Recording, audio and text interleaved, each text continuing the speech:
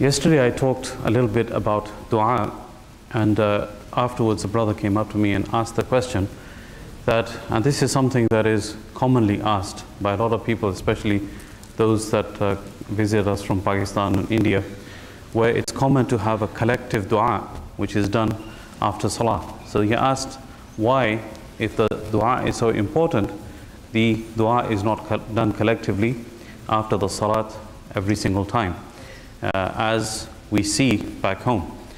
So the answer to that basically is, first and foremost, we need to understand that there is no right time or wrong time to make a dua. All times are equally important for making dua. There are certain times that the Prophet ﷺ said they are the times of acceptance of the dua. For example, the time of sunset, the time between adhan and iqamah, uh, uh, the time, there's a specific time in Jum'ah, and so on. There are specific times that the Prophet ﷺ mentioned. In one hadith in Tirmidhi, it's mentioned, Dubura salawat al maktubat, uh, after the uh, obligatory prayers. This is a weak hadith, but it also can be used for proof that the dua after the fard prayer should be done. However, there is no record of the Prophet ﷺ as a habit doing collective dua uh, with the congregation after the fard salat. Okay, so it's not a sunnah to do that. And to try to uh, implement that would be leading one into uh, doing an innovation or something that was not done by the Prophet ﷺ, which would be basically then tantamount to bid'ah. The question may be then that how come we've always uh, seen it done in Pakistan and India? Uh, the answer to that may be that as Islam came to the Indian subcontinent from the Middle East and from other places, uh, maybe the Imams wanted to teach the congregation how to make dua, and they used to do it collectively, and then it basically just became a habit.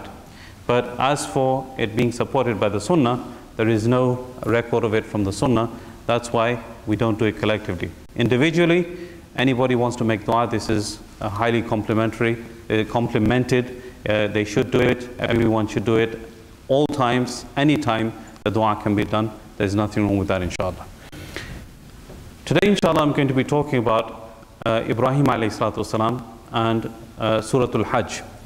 One of the questions that comes up sometimes is that we need to make sure or we need to understand every single aspect of Islam from a logical perspective. Okay, we need to have a logical explanation for everything. And unfortunately, this is not always possible. Okay? And as worshippers of Allah subhanahu wa ta'ala, those that claim ubudiyah and to be the abd of Allah subhanahu wa ta'ala, we need to understand that whatever Allah subhanahu wa ta'ala wants us to do or orders us to do, we have to accept it, we have to say sami'na wa ta'ana, and we have to obey it. And there are certain uh, there are certain examples of that. For example, when a person he has gone to the bathroom and after using the bathroom he cleanses himself thoroughly, then why does he have to come out and wash his face and hands and feet? You know, what's the purpose of that? The impurity has been washed off by making istinja. Okay? So why then we have to wash our body parts? Quite simply because Allah subhanahu wa ta'ala instructed us to do so and without us doing that, the salat is not going to be accepted. This is known as amr ta'abbudi, which is that we do what Allah subhanahu wa ta'ala tells us to do because we are, we are, we are His slaves, we are His worshippers, we obey Him, whatever He tells us, whether it makes sense or not. Similarly, a person, we're going through the month of Ramadan right now, a person might think that, you know, at the time of iftar, I still have a couple of energy, hours of energy left. I think I can drag on my, uh, my fasting for another couple of hours and then I will get more reward from Allah subhanahu wa ta'ala. No, that's not what Allah subhanahu wa ta'ala wants from you. Whether you're, uh, if you're in, for example, in the winter time in Scandinavian countries, your day is going to be about six or seven hours only in terms of your fasting, or even uh, more or less around that area, seven, eight hours. Okay, so if a person feels, no, I can stretch it for another six hours, you, you cannot, because this is against the command of Allah subhanahu wa ta'ala. Once Allah subhanahu wa ta'ala has told us, break the fast at Maghrib time, then you basically break the fast. There is no question of uh, arguing against Allah subhanahu wa ta'ala and using our own logic against what Allah subhanahu wa ta'ala has commanded. So we can have so many examples of this. Now if you look at the life of Ibrahim wasalam, each one of the commands that Allah subhanahu wa ta'ala gave him defied logic. Okay? Everything that he did defied logic. Everything that Allah subhanahu wa ta'ala commanded him to do, a human could not understand it. After longing for a child, Allah subhanahu wa ta'ala blesses him with a child in old age, and after a while, Allah subhanahu wa ta'ala tells him, last night we recited it in Surah Safat, slaughter him. Okay, where's the logic in that? Allah tell me, I mean, why am I supposed to slaughter my son that I've wanted for so many years? I'm an old man, maybe I'm not going to get another son after this, and you're telling me to slaughter my son. Ibrahim والسلام, could say that, right? But he didn't. He was set out to slaughter his son, and he was completely and utterly willing to do it. Both uh, Ismail salam and Ibrahim والسلام, both willing to fulfill the command of Allah subhanahu wa ta'ala. As the ayah says, فَلَمَّا أَسْلَمَا فَلَمَّا أَسْلَمَا وَتَلَّهُ لِلْجَبِينَ When they both submitted themselves, they both became Muslims. And then he laid him down face front so that he could not look at his face. And he put the knife to his neck, but then Allah subhanahu wa ta'ala sent down a sheep to be sacrificed instead. And then we look at the story prior to that, when Ismail is a newborn baby, Allah subhanahu wa ta'ala says, go and put them in the middle of the desert. Okay? Wadin ghayri di zara. As Ibrahim والسلام, says himself, that I'm putting my dhurriya in this valley which is ghayri di zara, which is uh, without any type of vegetation, no water, no food, nothing, but put the mother and child there and you know, just do it. Because Allah subhanahu wa ta'ala wants you to do it, He is commanding you to do it. Again, Ibrahim salam could object and say, where is the logic in that? Where's the understanding in that? I can't make head or tails of it. I can't make any sense of it. But he didn't. He simply obeyed. Again, the building of the Kaaba in the place which now had become inhabited, but to build the Kaaba in a place which was which only had maybe a few hundred people living there, and to make the Baytullah about which Allah subhanahu wa ta'ala then commanded Ibrahim alayhi salatu wasalam to stand up and make adhan. وَأَذِّن فِي النَّاسِ بِالْحَجِّ Okay? How far is my voice going to reach, O Allah? Okay? I'm going to make adhan. Who's going to hear it? Allah subhanahu wa ta'ala said, no. Just make the adhan. يأتوك رجالا وعلى كل ضامر يأتين من كل فج عميق. People are going to come walking riding on animals and nowadays on different modes of transportation from far off corners of the world, which was what Allah subhanahu wa ta'ala told him is going to happen.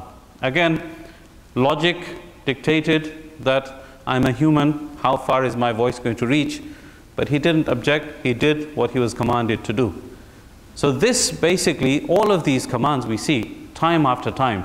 Allah subhanahu wa ta'ala is telling Ibrahim, he's fulfilling the command, and that is what Allah subhanahu wa ta'ala has summarized in Surah Al-Baqarah, وَإِذِ ابْتَلَى إِبْرَاهِيمَ رَبُّهُ بِكَلِمَاتٍ فَأَتَمَّهُنْ When Allah subhanahu wa ta'ala tested Ibrahim alayhi salatu wasalam with many things, he completed them.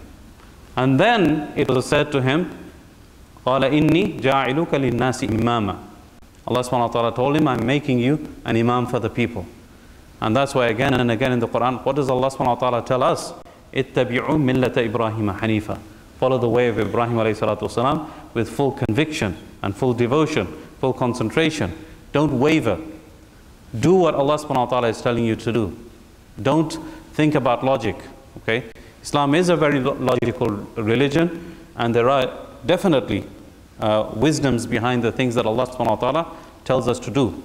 But if we are to look for logic in everything, then we will never find it and there will come a time maybe that if something doesn't make sense to us, we will just simply say, no, I'm not going to practice Islam anymore because it doesn't make sense to me. Okay? And there are people that do that. There, are, there is a person who uh, actually left Islam and he is, uh, has a campaign going on to stop people from fasting because it's damaging, according to him, it's damaging to the human body. It's uh, self-torture, it's self-mutilation and all the rest of these logics that the person has. So this is what happens when a person tries to look for logic in everything. So uh, as slaves, as, uh, as uh, ibad of Allah subhanahu wa ta'ala, we have to uh, understand this very, very clearly. Let me just finish off by saying, what is the word abd anyway? Abd, ibadah, ibadah is from the same word. When you have the word abd, it basically means a person who is under the control of his master. This was what a slave was in the days uh, uh, of pre-Islam and in the beginning stages of Islam. A slave was a person who was full-time at the service of his master. His master basically owned him. Okay, his master owned him and he could do with him whatever he wanted in terms of taking work from him, selling him, buying him, and so on, giving him away, freeing him. This was what a slave actually was. And when we say that I am doing the ibadah of Allah subhanahu wa ta'ala, it's from that same root letter. I am the abd of Allah subhanahu wa ta'ala. That basically means that I am submitting myself completely to Him. And from the time I wake up in the morning to the time I go to sleep, I do exactly as He tells me to do. Okay, so this is what ubudiyah actually is. Being an abd of Allah subhanahu wa ta'ala truly is. And when we do that, then the same way that Ibrahim والسلام, was honored and Allah subhanahu wa ta'ala gave him such respect in the Quran, Allah subhanahu wa ta'ala will give us that same respect and He will love us and He will reward us for fulfilling what He wants us to do and being the true slaves of Allah subhanahu wa ta'ala. I pray that Allah subhanahu wa ta'ala gives us tawfiq to understand and practice what has been said and heard.